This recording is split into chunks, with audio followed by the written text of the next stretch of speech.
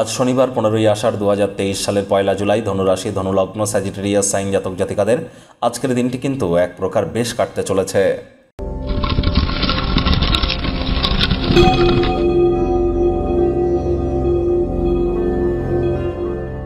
ভিডিওটির শুরুতেই আপনাদের সকলকে রাজ্যক চ্যানেলের তরফ থেকে জানাব, আজ শনিবার। আর এই শনিবার নামটি কিন্তু কর্মফলদাতা, ন্যায়াধীশ এবং দণ্ডাধিকারী শনি মহারাজের নামেই নামাঙ্কিত। স্ক্রিনে আপনারা শনি মহারাজের প্রণাম মন্ত্র, বীজ মন্ত্র, বিভিন্ন মন্ত্রসমূহ একে একে দেখতে পাবেন। এর মধ্যে যে কোনো একটি। আপনারা প্রতিদিন সন্ধেবেলার সময় একশো আটবার জপ করুন। বিশেষ করে আজকে তো অবশ্যই করুন সন্ধেবেলার সময় একশো আটবার জপ। কারণ আজ তো শনিবার, আর এই নামটিই শনি মহারাজের নামে নামাঙ্কিত। আজ মদ মাংস খাবেন না, তামসিক জীবনযাপনের আশ্রয় নেবেন না। সকল প্রকার মৈথুন ক্রিয়াকলাপ করা থেকে নিজেদেরকে বিরত রাখুন।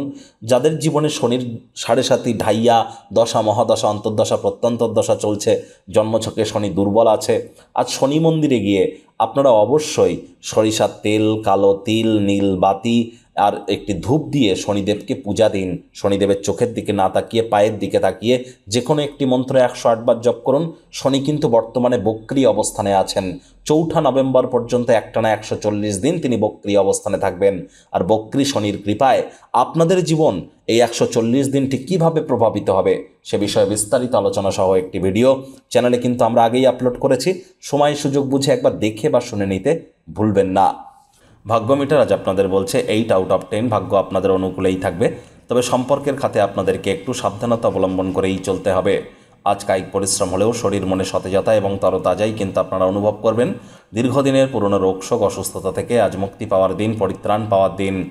অর্থগতভাবেও আয়, ইনকাম আজ আপনাদের বাড়বে। বিজনেসম্যানেদের আর্থিক লেনদেন বিনিয়োগের জন্য দিনটি আপনাদের পক্ষেই থাকছে। নতুন উদ্যোগ পরিকল্পনার পাশাপাশি নতুন নির্মাণ কার্যের শুরুয়াত আজ আপনারা করতেই পারেন। প্রাচীন জিনিস, প্রাচীন গয়না, অর্থাৎ অ্যান্টিক পিস অ্যান্টিক জুয়েলারিতে যদি অর্থ বিনিয়োগ করতে পারেন ইন ফিউচার আর্থিক সমৃদ্ধি আসবে, গৃহে মাতা লক্ষ্মীর প্রবেশ ঘটবে। পরসমালোচনা, পরচর্চা, পরনিন্দার মতো অনুভূতিকে যদি আপনারা ত্যাগ করতে পারেন, নিজেদের জীবনকে আপনারা সৌভাগ্যশালী এবং সমৃদ্ধশালী অনুভব করাতে পারবেন। আর চাকরিজীবী যারা আছেন, তাদেরও কিন্তু অফিসের পরিবেশ এক প্রকার বেশ বস কলিকদের সাথে ভাব ভালোবাসা বৃদ্ধি পাবে, কর্মে গতি অনুভব করবেন, নিজের মেধা, দক্ষতা, ট্যালেন্টের দৌলতে প্রশংসার পাত্রপাত্রীও হতে চলেছেন। রাজনীতিবিদ যারা আছেন, জনসংযোগ বৃদ্ধি করুন, সমাজে আপনাদের প্রভাব, প্রতিপত্তিও বৃদ্ধি পাবে।